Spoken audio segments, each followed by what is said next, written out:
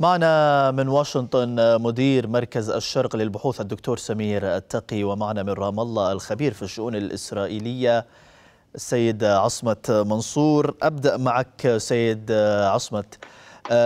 يعني تحذير الجيش الإسرائيلي لسكان شمالي غزة بإخلائها في ظل تحذير الأمم المتحدة من ذلك ما الهدف من هذا التحذير؟ يعني هل هي عملية تهجير من قبل الجانب الإسرائيلي لسكان قطاع غزة أم هو رغبة منهم في استهداف حماس أم هناك أسباب أخرى؟ تحياتي لك ولضيفك والمتابعين يعني واضح أن هذا الطلب هو جزء من مخطط إسرائيلي بمعنى هذه خطط كانت موضوعة على الرف وكانت تنتظر اللحظة التي تتهيأ فيها الظروف من أجل تنفيذها. ما يحدث هو أن إسرائيل تريد أن وعلى كل حال هذا يعني تحدثت به تقارير عسكرية قبل أيام هذا أنه إخراج مليون فلسطيني من القطاع إلى خارج حدود القطاع مليون إلى مليون ومئة ألف فلسطيني نصف سكان القطاع إخراجهم خارج القطاع بذريعة أنه هذا يعني لتجنيبهم الحرب وأيضا لتحويل هذه المنطقة إلى ساحة مواجهة بين حركة حماس وإسرائيل.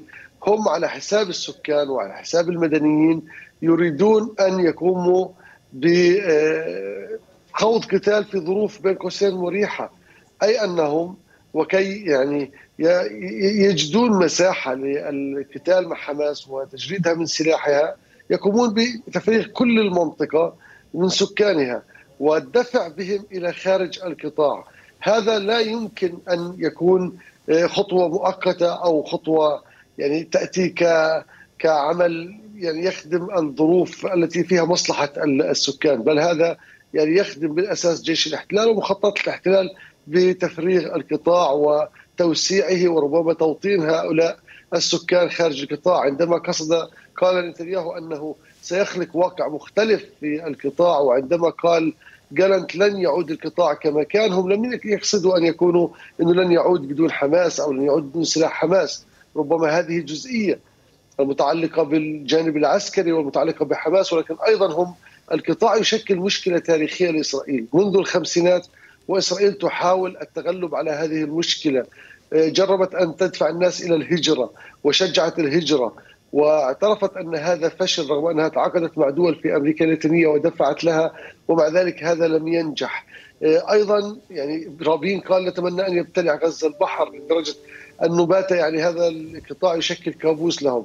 الآن هذا يعني إخراج هذه الخطة إلى التنفيذ هو يعني انعكاس وترجمة لهذه الأفكار يريدون أن يجعلوا القطاع أقل كثافة ويريدون أن يجعلوه أكثر مساحة هو من جهة يمكن عندها أن يتحول هو المساحة التي يعيش فيها الفلسطينيين ويقومون فيها دولتهم ويكملون مشروعهم تجاه الضفة التي هي أيضا ستعاني من موجات ترحيل وتهجير لأنه نجاح تهجير سكان من مكان إلى مكان في منطقة وبقوة السلاح وأحداث تغيير بالقوة لا يعني هذا سيعني انتقاله إلى مكان آخر لأنه العالم تقبل هذه الفكرة وواضح انه إسرائيل تستغل التعاطف الدولي الكبير وهذا الاحتضان من زعماء العالم ومن الإعلام على مستوى العالم. تعاطفهم مع الذين قتلوا ومن الصور الصادمة التي شاهدوها تستغل هذا التعاطف لتنفيذ هذا المخطط. هي تفسر تعاطف العالم معها لأنه ضوء أخضر لها كي تمارس ما تريد وكي تقدم على ما يعني يمكن أن يخدم استراتيجيا وعلى مدى بعيد مصالحها.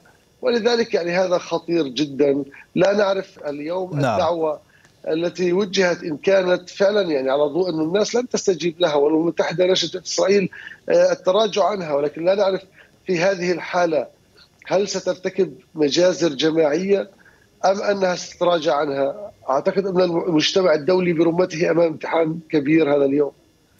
نعم.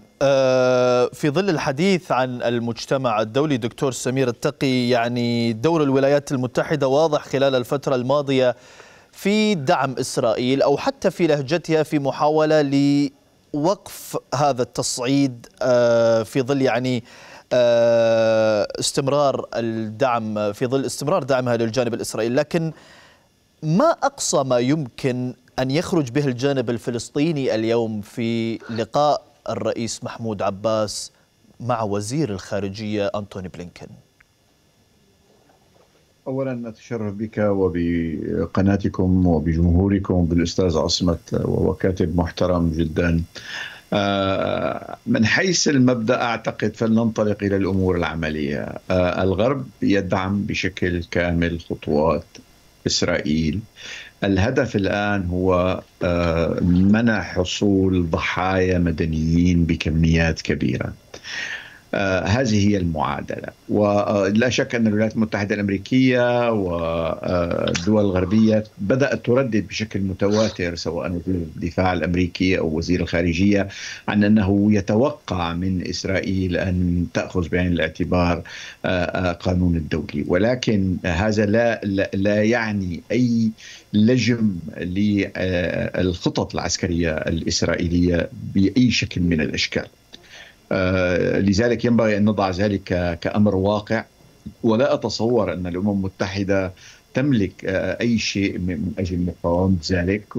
باختصار أعتقد بأنه في حال ارتكبت إسرائيل عمليات سيئة وفظيعة في في هذه المناطق فسوف ينشأ لدينا وضع جديد ربما يبدل الرأي العام الدولي. ولكن بالمقابل ما تخطط له إسرائيل يسير في أحد اتجاهين، الاتجاه الأول هو خلق من هو توسيع المنطقة العازلة الخالية من السكان داخل قطاع غزة.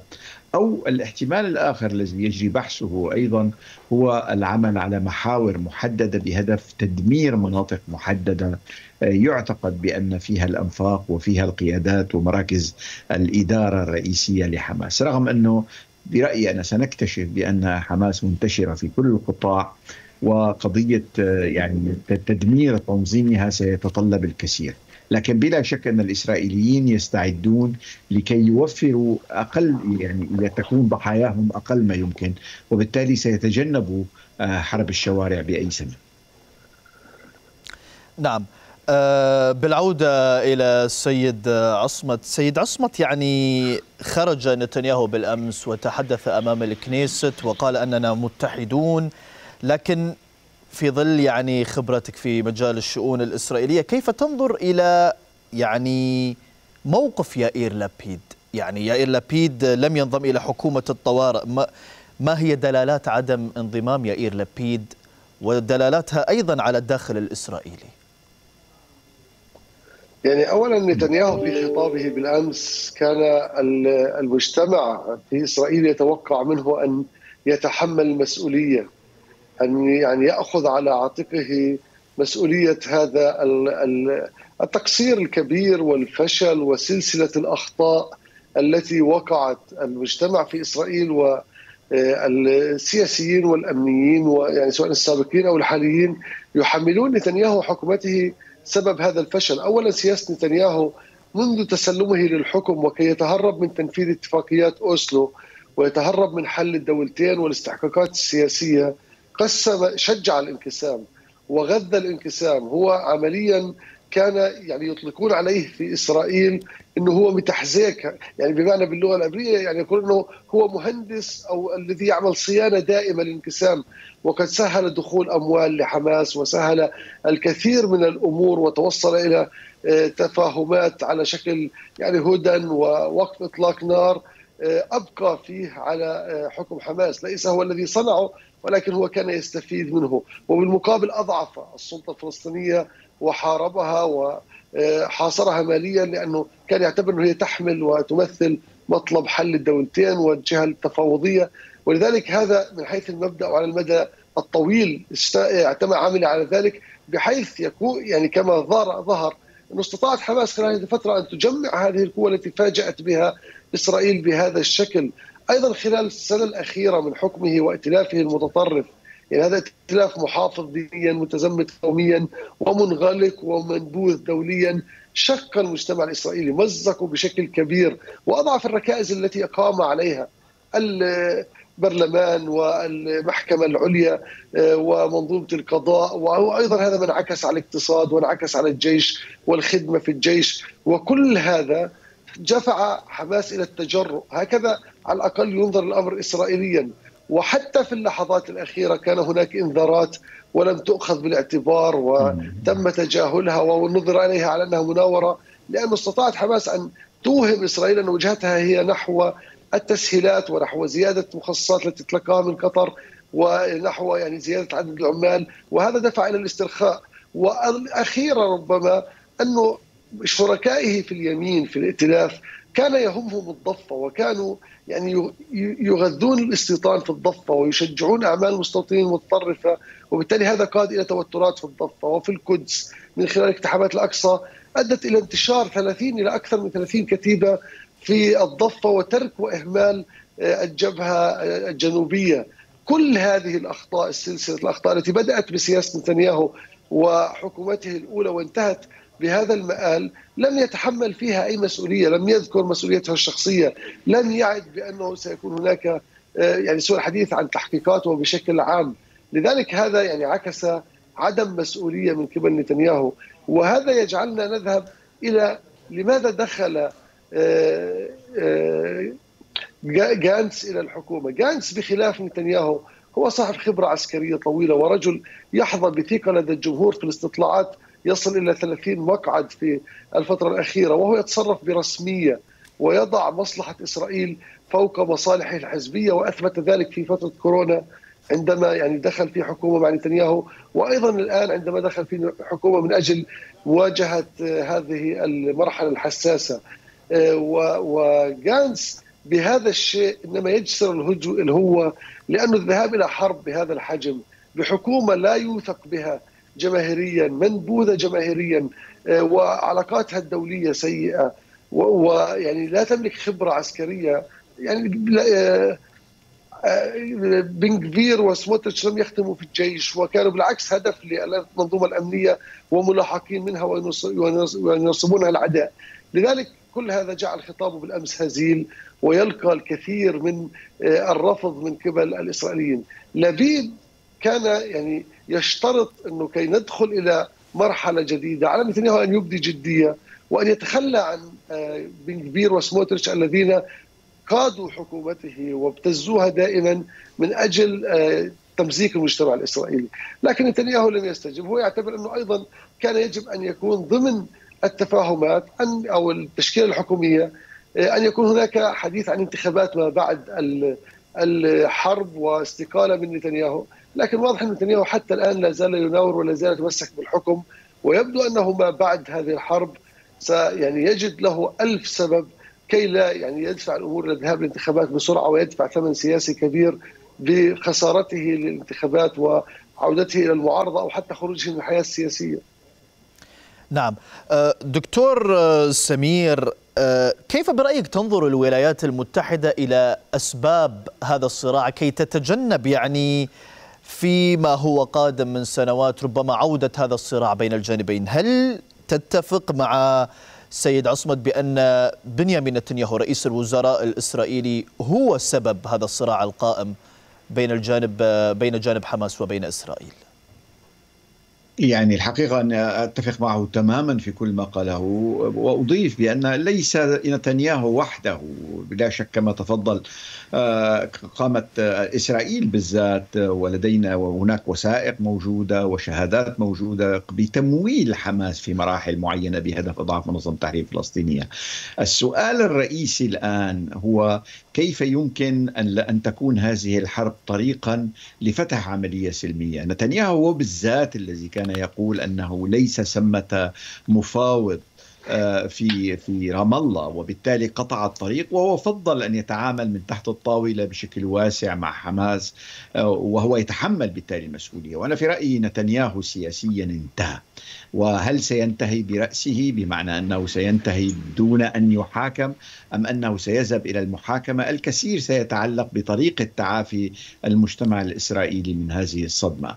ولكن النقطة الرئيسية الآن هي آه، كما قلت أنا بالنسبة الولايات المتحدة الأمريكية هناك إدراك كبير بأن آه، إيران آه، يعني متورطة في التدريب. آه، وكما اليوم أشارت الصحف الأمريكية متورطة هناك ألف مقاتل ذهبوا للتدريب في إيران وأنشأوا نماذج في غزة للمستوطنات الإسرائيلية.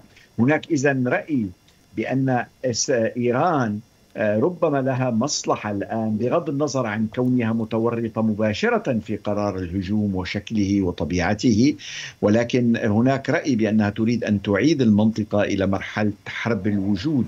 وفي هذه الحالة تستعيد مبادرتها الاستراتيجية في الإقليم على أساس مبدأ حرب الوجود وأن يتم عمليا إضعاف القوى التي فتحت طرق أو عملية سلام مع إسرائيل أو التي فاوضت وإضعاف بشكل أساسي في عندها سيكون الضحية الرئيسية هو هي السلطة الفلسطينية في في رام الله. ونعم لذلك هناك قضيتان هنا من جهة القضية هناك العديد من المتغيرات التي تحاول الولايات المتحدة ضبطها. هناك اولا القضية الإنسانية المتعلقة بأن تخفض قدر الإمكان يتم تخفيض قدر الإمكان الكلفة الإنسانية لهذه العملية العسكرية. ثانيا هناك قضية أن لا تكون هذه الحرب يعني طريقا للمزيد لحالة مزمنة من الحروب والأزمات كما جرى بعد حرب 67 وثالثا في اعتقادي هي لجم إيران عن القيام بعملية يمكن أن تستعيد فيها مبادرتها الاستراتيجية. نعم، سيد عصمت يعني الدكتور سمير تحدث عن فتح مجال أو أفق سياسي لعملية سلام، هل بمقدور هذه الحرب في ظل اللهجة التصعيدية من قبل الجانبين في ظل تداخل أطراف إقليمية فيها عديدة أه تواجد حزب الله تواجد إيران عملية أه يعني السلام التي تسعى الولايات المتحدة إليها بين الجانب السعودي والجانب الإسرائيلي. كيف أو هل بمقدور هذه الحرب أن تفتح أي مجال لعملية السلام حتى في ظل تواجد سلطتين في سلطة في غزة وسلطة في الضفة الغربية؟ يعني اولا أنا أعتقد إنه بعد هذه الحرب لن يكون هناك سلطتين. إسرائيل عازمة على إنهاء حكم حماس. وحتى لو لم يعني لو لم تمتلك ادوات تمتلك أدوات لانهائه بشكل مباشر بعد هذه المواجهة وعلى وإذا فعلا جردت حماس من سلاحها أو لم تجردها أعتقد انه أحد الخلاصات الكبرى ستكون في إسرائيل أن التعامل مع سلطة حماس وتسهيل الأبواب أمامها. هذا أحد الاستنتاجات الكبرى التي ستكون أنها كانت خاطئة. وأيضا ربما المجتمع الدولي والولايات المتحدة وحتى دول عربيه ستكتشف إنه هذه السياسة كانت خاطئة وأن تشجيع الانقسام الفلسطيني كان من الأمور التي عقدت الصراع بدل أن تحل وخدمت إسرائيل خدمتها على مدار سنوات طويلة. هذا من حيث الاعتقاد لدينا بعد.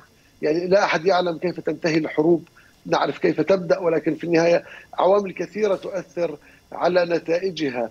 لكن فرصة حل الدولتين أو فرصة فتح أفق لعمليه السلام هذا أمر ممكن. يعني إذا ربطت هذه الدول الآن التي تدعم إسرائيل بشكل غير مشروط كما قال بلينكن يعني دعم غير مشروط وتعبر عن تعاطفها واحتضانها لها. إذا لم تقرن هذا الأمر نحن نقف معكم في هذه الأزمة لا نقبل أن يعني تباد إسرائيل أو أن تتعرض إلى هجوم من هذا النوع. ويعني مجازر بهذه الطريقة ولكن أيضا نريد بعد انتهاء من هذه الأزمة أن يكون هناك أفق بحيث نؤسس لحالة استقرار طويله المدى، لأن الحلول الأمنية جربت وإسرائيل جربتها وهي لا تجلب سوى المزيد من العنف والمزيد من التشدد والتزمت لدى كل الأطراف وتشعل حرائق لا تنتهي. أنا أيضا إذا سمحت لي المجتمع الإسرائيلي لن يعود كما كان ما قبل هذه الحرب. لا أحد ربما لم لم يدرس بعد الأثر النفسي لهذه العملية على الإسرائيليين، كان الإسرائيلي ينام في المستوطنة أو في الغلاف أو في تل أبيب أو في كل مكان وهو واثق ومطمئن أن هناك جيش قوي يحميه، أن هناك جدران ومنظومات تكنولوجية واستخبارات ذات سمعة عالمية تؤمن له الحماية وكان يشعر بالاطمئنان، هذا الاطمئنان هز من الأعماق. تلقى ضربة قاضية، الآن الاسرائيلي لم يعد يثق لا في جيشه بأن يؤمن له الحماية بهذه الطريقة. يعني جيشه كان موجود وقتل 1300 إسرائيلي في ليلة واحدة في يوم واحد وجرح آلاف وأسر ربما 200 شخص. وبالتالي هذا سيترك أثر نفسي. ربما يكون هذا يعني شكل هذا ردة فعل. إما باتجاه التطرف والذهاب نحو الفاشية وتنفيذ هذه المجازر أو أنه الحل الحقيقي ليس بالجدران ولا بال بالدبابات ولا بالمنظومات الأمنية وغيرها بل من خلال السلام اذا إذا كان هناك من يعني يؤسس لمثل هذا الاستنتاج ويدعمه ويدفع باتجاهه وخاصة الولايات المتحدة أعتقد أنه هذا سيغير قناعات الرأي العام في إسرائيل خاصة إنه جرب حكم اليمين. عندما حكمت هذه لأول مرة في تاريخ إسرائيل تحكم حكومة يمينية خالصة. حتى الحكومات نتنياهو السابقة كان يدخل بها بيرس وباراك وأدخل لبيد في فترة من الفترات. كان يضع دائما يعني جزء من يعني الليبراليين واليساريين أو الوسط. لكن آه، هذه المرة جرب الإسرائيليين حكومة يمينية خالصة وشاهدوا أثر هذه الحكومة في كيفية التصرف في الميزانيات المتدينين واعطائهم امتيازات كبيرة. آه، الآن كانوا يعني سيقرون اعفائهم كامل من الخدمة في الجيش. ربما هذه الأزمة ستظهر أهمية خدمتهم في الجيش وبالتالي يصعب هذا الأمر. ولكن كان نتنياهو يتصرف وكأنهم يعني يوزع الدولة عليهم ويعيد صياغتها داخليا واجتماعيا بما يعني يتلائم مع إيديولوجيتهم ونظرتهم الدينية المغلقة آه، والمحافظة. وهذا ربما يعني يجعلنا نعتقد إنه لن يكون هناك بعد الآن حكومة يمين خالصة، ربما اليمين فشل هذا الفشل الكبير وتلقى هذه الضربة الموجعة آه، كي لا يعود إلى الحكم مطلقا بعد الآن، ربما تكون حكومات فيها يمينيين، فيها متدينين ولكن حكومة بهذه الصفة أنا أعتقد سيكون أحد الاستخلاصات الداخلية لدى المجتمع في إسرائيل انه هذا يشكل خطر فعلا عليهم. نعم، دكتور سمير يعني كيف برأيك ستقيم الولايات المتحدة؟ كيف ستتغير سياسات الولايات المتحدة في الشرق الأوسط في ظل ما هو قائم الآن بين الجانب الفلسطيني والجانب الإسرائيلي وفي ظل لربما عودة ملف الشرق الأوسط إلى صدارة آه، وأهمية آه، الملفات لدى الولايات المتحدة؟ سؤال جميل. يعني من حيث المبدأ ينبغي أن ندرك بأن كل محاولات الولايات المتحدة الأمريكية منذ أكثر من عشرة رؤساء أمريكيين بمغادرة الشرق الأوسط تثبت فشلها بأشكال متعددة. والآن تعود انتهت سياسة الابتعاد عن الشرق الأوسط وإدارة الظهر له وتركه يشتعل وتركه ملعبا آه، لقوى أخرى كانت تقول ليست لنا اهتمامات بالأمن في هذه المناطق لدرجة أن حتى إسرائيل ذهبت لكي تتشارك بشكل عميق مع الصين وروسيا بعمليات استراتيجية أثارت غضب الأوساط الأمنية الأمريكية. الآن الوضع في رأيي أنا مختلف تماما آه، أمريكا ستستعيد مبادرتها والدليل أيضا أنا كتبت عدة مقالات في جريدة النهار حول هذه حول قضية أن آه، الآن تنتقل الولايات المتحدة الأمريكية لتشمل الشرق الأوسط في سلسلة تحالفات بين عدد من الدول في موضوع طريق التوابل. وفي رأيي في هذا السياق يتضح بأن الولايات المتحدة الأمريكية ستدعم بشكل مباشر تشكيل بنية استراتيجية تضمن مستوى معين من الاستقرار في المنطقة لأن حتى أوروبا الآن وحتى الهند وبحر الصين تجد لها أهمية كبيرة في الدور في الشرق الأوسط. في هذا المجال في رأيي أنا الولايات المتحدة لابد أن تنتقل للعمل على مبادرة ما بعد أن تهدأ الأحوال. وكما تفضل الأستاذ عصمت آه، بأن القضية في الحروب تدخل إلى الحرب ولكن لا تعرف كيف ستخرج. ولكن مبدئيا التوجه العام هو أن تأتي وتتضافر كل هذه العوامل لكي تؤدي إلى خنق القوى المتطرفة حتى في إسرائيل والتوجه لإيجاد أرضية ما تدريجية ستأخذ زمنا طويلا من أجل اولا استعادة السلطة الفلسطينية لدورها، ثانيا ان أن إيجاد طريقة لضمان مشاركة ودعم أكبر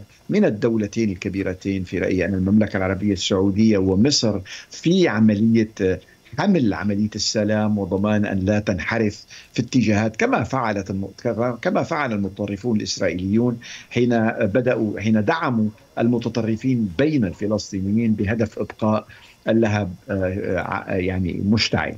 ولذلك في اعتقادي الولايات المتحدة ستبذل جهود وتحضر منذ الآن ولكن الأهم أن لا تنتهي الحرب بطريقة تصبح من يصبح من المستحيل التفكير فيها بأي شكل من اشكال البحث عن السلام وتاخذ العملية سنوات سنوات ولا شك أن هناك عدد من القوى الدولية والإقليمية بما فيها وعلى رأسها إيران لها مصلحة في إبقاء هذه المنطقة قيد الاشتعال.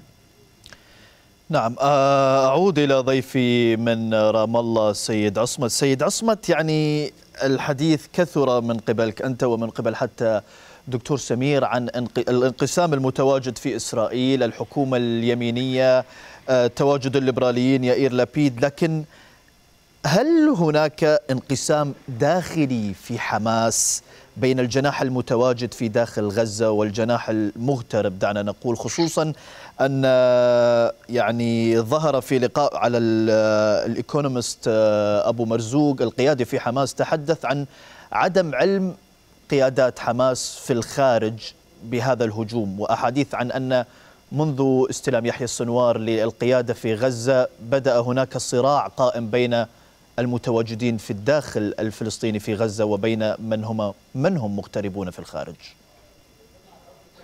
أنا أنا أؤمن أن الجغرافيا والمكان الذي تتواجد به ينعكس على طريقة تفكيرك أو يؤثر دعنا نقول يعني لم يكن ينعكس بشكل مباشر يؤثر على رؤيتك للأمور وأيضا يعني ملاحظة هامشية ربما يعني قيادة حماس هي القيادة الوحيدة التي قررت أن تخرج قياداتها خارج الوطن. بالعادة القيادات تسعى للعوده للوطن حماس يعني بدأت في السنوات الأخيرة ومن خلال علاقتها مع تركيا وقطر تخرج كل قياداتها. هناك صف كبير من القيادة الآن يعيش في قطر وفي تركيا وفي لبنان وفي الخارج وما بقي سوى يعني قليلين من هذه القيادة.